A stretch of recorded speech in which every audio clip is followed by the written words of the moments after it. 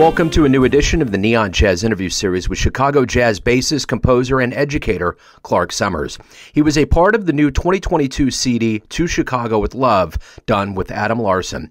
And over his career, he has toured and performed extensively throughout the world. He's had the privilege of performing with the likes of Cedar Walton, Brian Blade, Ernie Watts, Von Freeman, Ira Sullivan, Frank Wess, and so many others. He's a deep cat with great stories and insights. Enjoy the story.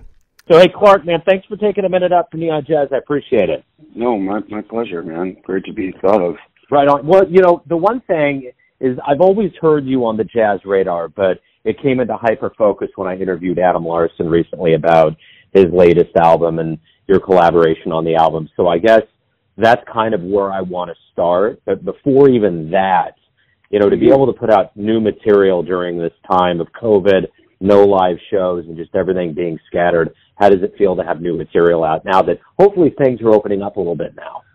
Well, it's uh it's a blessing and it it makes I think all of us remember what is actually important because we couldn't be together and play during, you know, the pandemic and the quarantine and and so I think it I think it does have a little extra gravity. Collaborations have more gravity to them and they they they come with more meaning and there's an awareness of how ephemeral all this is you know?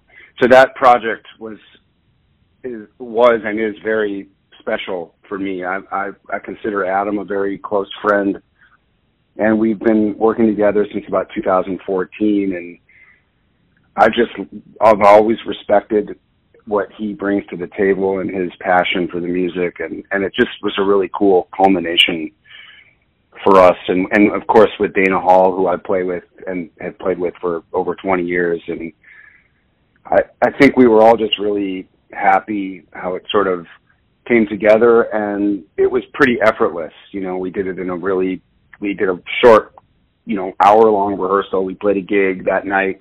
And then we did the recording in under four hours the next day.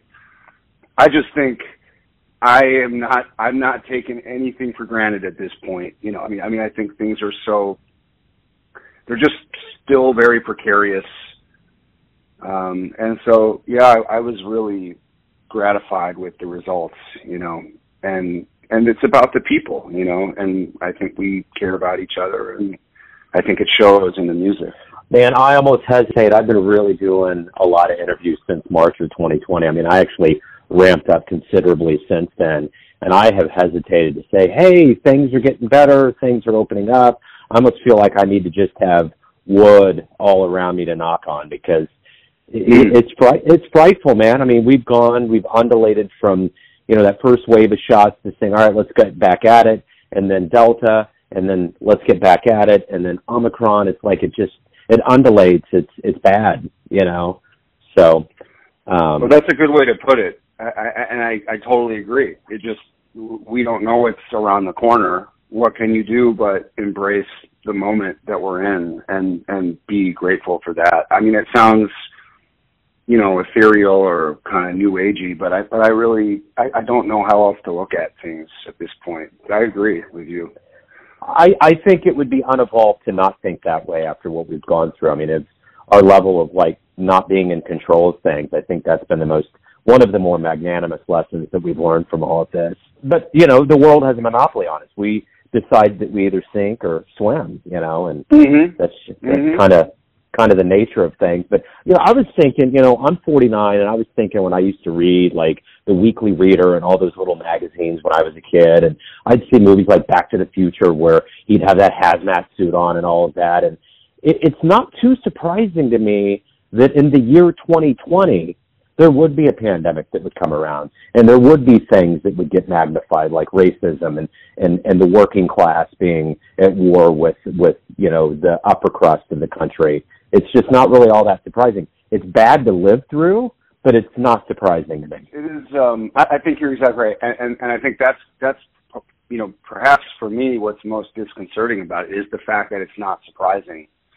that people see the signs, people you know people can anticipate this stuff, and still we as a collective kind of avoid addressing it and avoid uh, you know, staving it off. You know, so I, I, I feel like that's troublesome. You know, I think that is the, is the per, more sort of pervasive underlying, uh, you know, foreboding aspect of it that look, why, why are we not looking out for, I mean, why are we not looking out for people? Why are we not trying to figure this out? You know, and, and why are we thinking that we can just leave it for the next generation? I mean, clearly we can't. Clearly things are, you know, they, they come upon us and, and we have to face them. And I, I feel like, you know, we, we end up you know, kind of doing ourselves a disservice because it's it's I don't want to say it's too late, but it's like, look, you know, with regard to you know race, gender equality, you know, um, socioeconomic issues, um, gender, you know, uh, you know, supply shortages. What are we trying to do here? You know, the the, the cl- climate issues. What are we waiting for? You know, so I think I don't know. Just I think all with with with keeping all that in mind, I think I think it just puts a little more gravity on the choices that we make. You know, it's like, well, I don't think anything can really be that trivial anymore. I don't think we can afford to proceed with that, like with any kind of like flippancy that because because things are precarious. It's like no, you can't guarantee that I'll have this jazz career such as it is you know, in two years or a year, because nobody thought we'd be in a lockdown. I mean, I was doing, you know, I was enjoying the the kind of, you know, in quotes career that I thought that I had cultivated for myself and traveling around the world, and that just went up in smoke.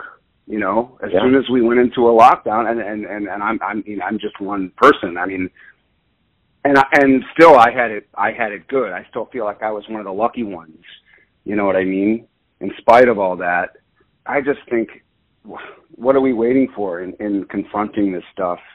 And, and yet here we are, you know. And then this thing in Ukraine is is just absolutely so disheartening, and it's like, what what do we? What is all this? What's it's so hard to even process it. And then and then you know to try to to try to sort of be committed and passionate about art and music and the process that people who live a life of of pursuing that it's so hard to like balance that with what's going on in the world you know what i mean i mean it's like yeah how seriously am i supposed to take all this you know when there's all this uh, it's it's it's a weird i mean i i i know that's rhetorical and i know you know we got to do our thing regardless of what's going on around us but it's it's like it's it's there. It's in it's it's in the air you know and it's hard not to be thinking about it all the time you know. So i don't know. I don't really know what the answer is. It just feels it just feels like a funny time. It's like oh i don't have my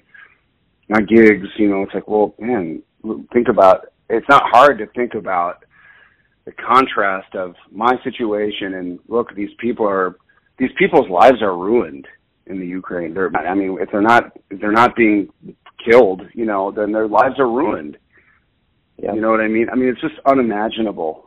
I don't mean to get so intense about it so quickly into this, but I just got done listening to the the daily, you know, and it's like, man, it's rough, you know, and so like my problems are not real problems, you know. So I try to keep that in, in mind as I'm going along here.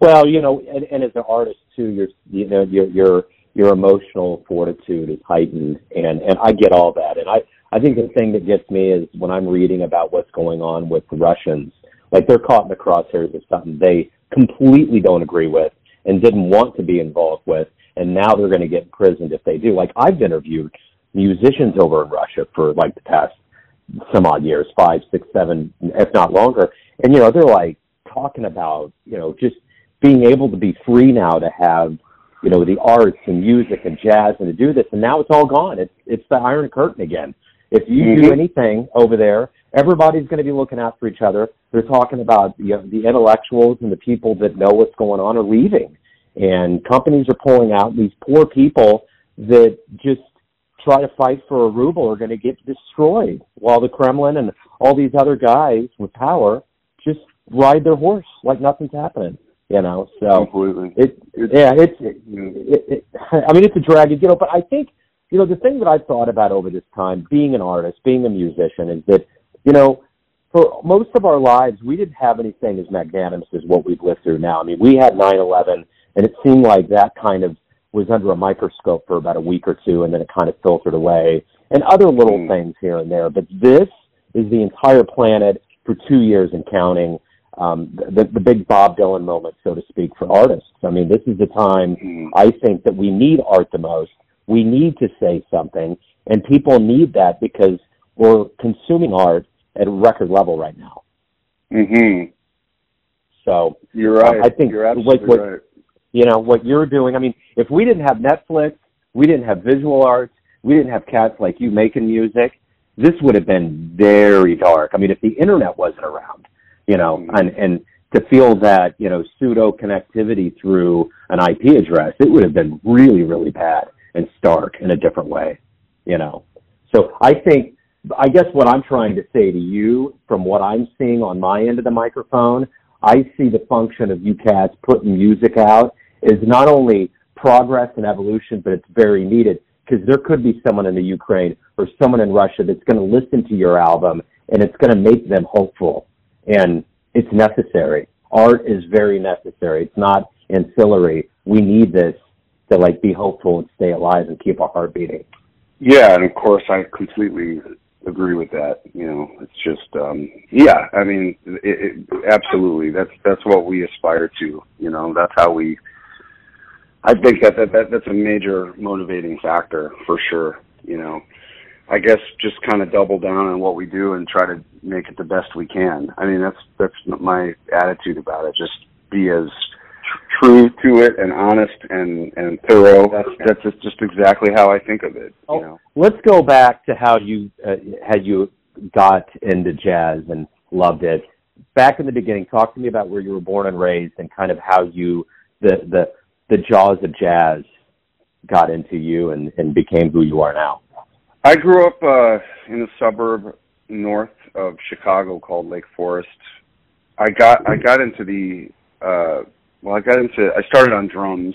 I think this is probably somewhat typical and kind of not that interesting, but I started on drums in the seventh grade. I switched to the electric bass in the eighth grade when the, you know, the rock band in my junior high didn't have a bass player. No surprise, right? Nobody wanted to play bass.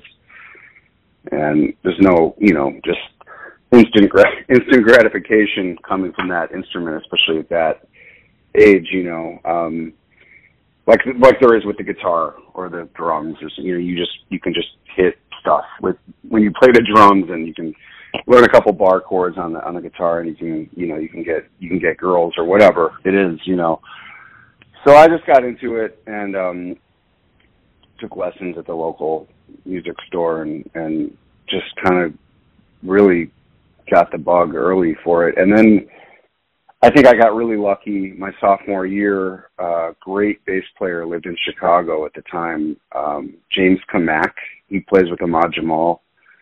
He's an incredible bass player. He came to my high school and he put up flyers advertising, uh, you know, that he provided lessons for people. And so I didn't know who Ahmad Jamal was when I was 15 years old. I went home and I told my mom that, and she said, oh, I know who Ahmad Jamal is, you know, because they're of a similar generation. And so he would start coming to my house. He got me very, very uh, hooked on it. And uh, I switched to upright my junior year. And when I switched to upright, that's when everything changed. I just, it was kind of, I, I kind of remember it being pretty immediate. Just the, the moment that I picked it up, I knew, I just kind of knew that was it. And, um, and then from there, you know, things just unfolded. I got really serious about it. I went to uh, DePaul for two years in '95. You know, immersed myself on the Chicago jazz scene uh, and met all these incredible people and was given a number of meaningful experiences and opportunities most of which I wasn't ready to to receive at the time but I but I I nonetheless uh, was there, and there weren't that many upright bass players on the scene at, at, at that time in Chicago, and and I just said, well, I'm not gonna. I was too young, or you know, um, oblivious to realize I wasn't probably really ready for these experiences, but I, I, I was lucky and took a couple, uh, I did a couple years at DePaul and then I took three years off and I toured with a swing band. I'm sure you remember in the mid 90s, late 90s, there was a huge swing band revival. And so I toured with this band, the Mighty Blue Kings, for a couple of years. Um, went all over the country, went to Europe a couple times, and then I finished my undergrad at uh, California Institute of the Arts in 2000. I went back in 2000, finished in 2002, and then I stayed in Chicago for five years, and I moved to New York for two years in 2008, and then just things, you know, just kind of kept unfolding, and um, you know, I mean, long story short, I mean, here we are, you know. But yeah, I, I, I got lucky. I got lucky with Jim Cammack coming to the to the school, and he he really he he put me on the right path. You know, he brought records for me to check out, and he he just kind of kept me in line. It was it was really an amazing relationship because he had just had a, a newborn baby, and he would he would bring the kid in a little uh kind of a um, um you know he would bring his kid and my mom would watch the kid while he gave me the lesson in the basement. And then he would come upstairs and he would have dinner with my family and it was it was really unbelievable. He was a very generous spirit. He could see that i was really serious and self motivated you know and so you know things just went from there. Um i just i got lucky with kind of different teachers and mentors along the way. I, I spent time, you know, with Kelly Sill in Chicago, and then I went to when I went to Cal Arts, I studied with Charlie Haden, you know, and that was a big life changer. I was already a huge fan of his before I went, and he was, you know, profound, you know, and um so I've just I've just been really lucky. I've been really lucky, and I've had a lot of support. And I mean, I could, you know, I, I'm kind of scattering the details around, but I, you know, I'm happy to get into specific things, but you know, um, I just, um, I've just kind of been lucky that I've had this, um, and like an internal just, um, desire to stay on the path and, and, and I, I never had to be forced to do it. And I feel like that was my best attribute. You know what I mean? That I, I always had my own sense of intrinsic motivation. And um I think it's really hard to make people kind of fall in love with the music. And if you don't if you don't have that I think it's going to be really hard to kind of get inside of you know the degrees of work and commitment that that are required to to sort of to really deal with with the music in a, on a certain level. And so that that's always been I've always been grateful, whatever that is, if that's you know genetics or biology. You know, I don't I don't really know, but I just I I love I always loved the music. I always loved the the process as a lifestyle. You know, and so it was never challenging for me to go in the basement when I was in high school and stay down there for three, four, five, six hours. You know, and listen to records and try to practice and figure figure things out, you know. And that's just I've always been able to sort of, you know, prepare, you know, to to be cool with preparing and sort of dealing with shortcomings. I mean, I think that was so much more important than any monicum of talent that I had for the music or on the instrument. You know, I always say that, that my talent was that I I could do the work and not not have to be told and not sort of complain about or not sort of overly criticize my whatever natural ability that I had because I just it was more just a it was just more about the process of it than anything else. And I think that just in and of itself kind of has helped open doors for me. You know, it's just it's like, well, it's just it's not something that I take for granted. I don't I don't feel entitled to any of it. There are dozens of people with you know a, much more talent than I have and so I just recognize the reality of things and I I've just been lucky that I I care just only really about the process of it and and and the, the kind of getting inside of the details and and figuring stuff out, you know, and and deepening my relationship with with the music and with the history of the music and with musicians. So that's always kind of driven me, you know. Yeah, absolutely. And and the beauty of that answer right there, the zigzag of it is that it's like missile command. You hit all kinds of different questions I was going to ask in between. But of all of the things that you were talking about, it seems as though in your lineage and your career, there's there's been this group of of legends and luminaries that you've been around. I mean, you were talking about Charlie.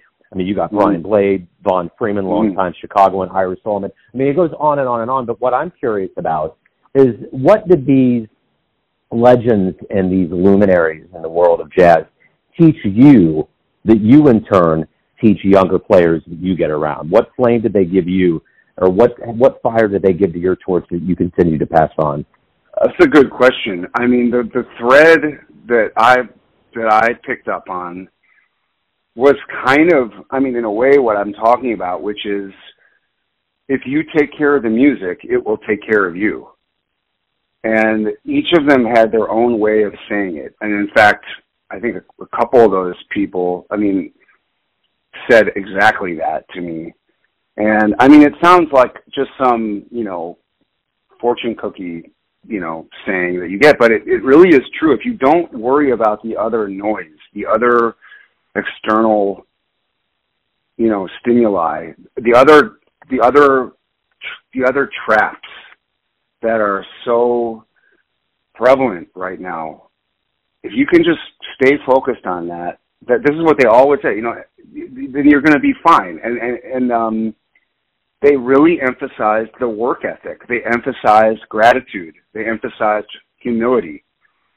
Um, ask questions. You know, make your teachers work. I mean, all of them, all and all those people that you just mentioned, each one of them, Blade, Ira, Von, they were so generous with information. They they wanted you to succeed, and it wasn't about. It was never about um, yeah, I think there's a little confusion with with some, you know I don't I don't want to you know pigeonhole anybody, but with sounding like um, you know young youngish people feel like you know you gotta you gotta reinvent the wheel. You know you gotta you gotta like break through the glass ceiling, and it's like yeah sure that's that that that um, value has been sort of it runs alongside the the jazz kind of you know ideal that things are always evolving, always changing, but they emphasize just just play just play well, play in the play in the context that you're in.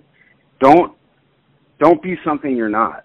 You know, you can't be something that you're not. You're you can only be you. You can you can transcribe all the Ray Brown you want. You can do all the you know, train so whatever. But you you're gonna be you. Whether you, you just can't run from that. And I think they, they they emphasize you know the more you embrace that and just take care of the details, just very matter of fact, you know, then it will it will be people re, will respond to that. You know, and and that was the you know sure I can I could get into the details of music craft, but the, we know that those raw materials are they're out there for everybody. They're all the same raw materials it's it's how do you as an individual kind of uh, get those things to coalesce and then to to repro- like repurpose them for your own use you know? So their thing was more about gratitude. It was more about it was sort of like well if you're already here if we're having this conversation you know it's like well this is this seems right. And you know just keep keep keep being humble and keep doing the work and then I mean it sounds so simplistic, but you know, like anybody, like yeah, just get to the top of the mountain, right? Yeah, it's simple, right? No, it's not. Like you have, it's so it's really hard to get young people to understand. Look, just just just keep your head down and do the work and be great, you know, grateful. I mean, I'm just grateful to get a mode of expression. Like we're just looking for that, you know, and that was that is that's kind of what was stamped out during the pandemic. Nobody could get together and do this. So I think it's just the continuation of, of gratitude. And again, these these people that you mentioned, they just exuded that. I mean, you just couldn't. It was so undeniable. People that are are are doing it and living it. That's that's how they kind of carry themselves. They don't walk around like they own the place or they're God's gift to anything. There's just a there's a there's a gratitude, and it's bigger. The, the, it's bigger than any one person. I mean, it just is. You know, it's it's like a big collective thing. It's a family. You know, I mean, in a, in a, in the corniest sense. I mean, it's so you you don't like you don't want to you don't want to take that for granted. You know, so that that was their that was always their message. You know, they they would talk about other things like you know, well, when you do this, you know, you know, maybe exercise a little bit more taste or be a little bit more patient. You know, any number of craft oriented insights. But but I think the general thing was more it was more humanistic. It was more elemental, and I and I I love that about about art and and music, and and it's a, it's um putting kind of an emphasis on more of the ineffable aspects of it. You know what I mean? And trying to not make it about craft. Try to make it something about something more transcendent. You know, and you know Charlie would really emphasize that. You know, certainly you don't need anybody to explain that. You know, Brian Blade is exuding that every every fiber of his of his being is exuding that. You know, Von Freeman was like that. You know, Lin Halliday didn't say much, but he he had this really loving aura, and he just loved the music and loved the people that he was he was playing with at any one time, and and he was so supportive. You know, I just think when you come to those situations with an openness, you're going to get that in return. You know, you're going to get the support that you that you need, and that that was that's what I'm trying to you know put put back into the world at this point. You know what I mean? And if there's people that I'm teaching at any one time, that's that's the kind of spirit that I'd like to impart. You know. Let's say you have a dream tonight, and you run into your your younger self around the time you were getting ready to go out and become a professional, and you could give your younger self one piece of advice based on what you've learned throughout your life up to this point. What would you tell that version of you? I would say, don't worry. Don't worry so much. It'll be cool. Just I mean, I, I was a little bit of a worrier when I was younger, and I wasn't sure. Uh, I mean, I knew that I loved the music, but I I didn't know if I had what it, I didn't know if I had it. You know what I mean? And I didn't. I just felt like I had the most to learn and the most to improve upon, and I just worried. You know, I didn't know, and I didn't. I just didn't know, and I I I could. I was. I spent a lot of energy being uptight about that and don't worry and be patient. And that those, those would be the two things. You know, don't don't compare yourself to anybody. It's just it's impossible for humans not to do that for some reason. And just keep enjoying. Just enjoy the ride. Enjoy the ride.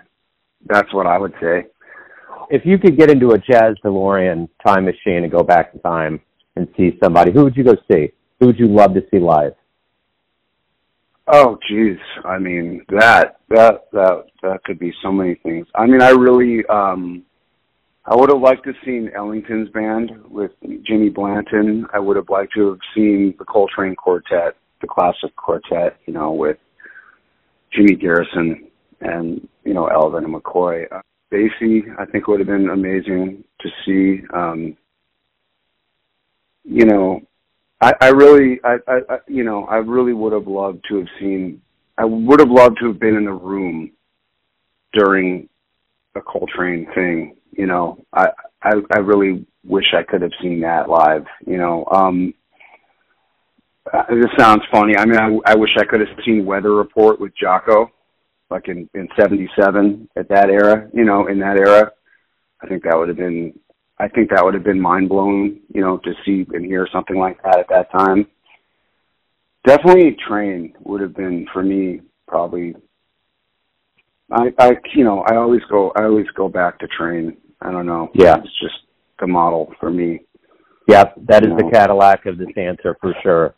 For sure. Yeah. Uh, um so everyone has a perception or an idea of who they think you are, your family, your friends, your fans, but ultimately you live your life you have a perception of you Who do you think you are? I mean, I'm I'm just trying to be I'm just trying to be a nice person and and play this music the best that I can and exude some kind of uh, non-judgmental, you know, energy into the world and uh, just a super hard worker and and um, you know, I'm sure you probably get a lot of when you ask this question. I'm sure you get a lot of stuttering answers on the other end because it's. I think it's hard to. I think it's hard for people, at least in the world of, of music and art, to to get people to talk about themselves. You know, sort of in any kind of you know qualitative way. I mean, you know, I'm I'm just I'm just grateful that I get to do what I do, and so I try to I try to proceed and move in the world with that in mind. You know that I was for some for whatever inexplicable reason I was born into this era into a like a very objective level of um luxury you know and I have, for whatever reason, a proclivity towards playing this music that I love so much, and that I've been able to um, carve out a career playing this music. So I, I I suppose I'm that. I mean, I'm also, you know, conscious. I'm consciousness. You know, so that's the most elemental answer, but I mean in in like in my body, you know, I'm in my body and I'm in this world at this time. So that's kind of how I think of that, you know, where I'm I'm constantly just trying to be a person that is grateful and that gets to do what they want to do um, in in light of the fact that a lot of people don't get to do what they want to do. So what you know, who am I? What I'm that you know, uh, you know, that's that's what I would say. But I you know, I mean, you know, we're if we're opening our eyes and we're seeing a physical world, we're just we're just we're pure consciousness. You know, I mean, that's what it is. And um, the other stuff is just something that we do. You know what I mean? and so I, I'm kind of very much always thinking about stuff like that. You, you know what's interesting about this question is is that as you were saying before, the most interesting thing about this question is sometimes the best thing is the simplicity of what you like what, what you were saying, like just being fortunate to do what you do. And I think sometimes there's a notion because this question's so big that it does have to be really, really elaborate. and Sometimes it's very profound when it's short because that's just the way it is you know that can well that's why yeah, and i agree and and that's why once i start stop talking i start thinking about well well what am i well like what are we, we are we're conscious. We're just consciousness. And so i would i would leave it at that. I mean i'll let yeah. people people can think about that in their own way. It's some it's definitely something that i think about a lot. And um and that helps me make decisions, you know, in terms of how I react to things around me and how how much I need to react and how deeply and emotionally intertwined that I get with something around me. You know what I'm saying? Because sure, it's kind of um, uh, an ever moving target, if you know what I mean. Like there's such a a relativity of what this is, and it's changing every a moment. I mean, we kind of started off talking about that. I mean, we talked about it in the macro sense vis-a-vis the pandemic. I mean, that's just a that's just a that's just what it is in a nutshell. That just happens to be the the life situation that the whole world is in right now. You know, but I think that's what it is, in my opinion. You know, and so it's like, well, I'm not a bass player. Yeah, I play the bass and I write music. I'm, I do music, but I'm I'm conscious. You know, I mean, let's get back to it. You know, that's maybe that's just how I think about that kind of thing. You know. Absolutely. No, that makes total sense. Absolutely, Clark. Man, this has been great. Thank you for opening up, taking some time out. Good luck. Hopefully, as the world opens up and and you know the weather gets better and we all kind of move forward. Yeah, man, really good to talk to you. Thanks for listening and tuning in to another Neon Jazz interview, where we give you a bit of insight into the finest players in Chicago, Kansas City, and spots all over the globe, giving fans all that jazz. And thanks to Clark for his time, music, and cool. If you want to hear more interviews, go to Famous Interviews with Joe Dimino on the iTunes Store. Visit Neon Jazz at youtube.com. And for everything Neon Jazz all the time, go to the neonjazz.blogspot.com. Until next time, enjoy the jazz, my friends.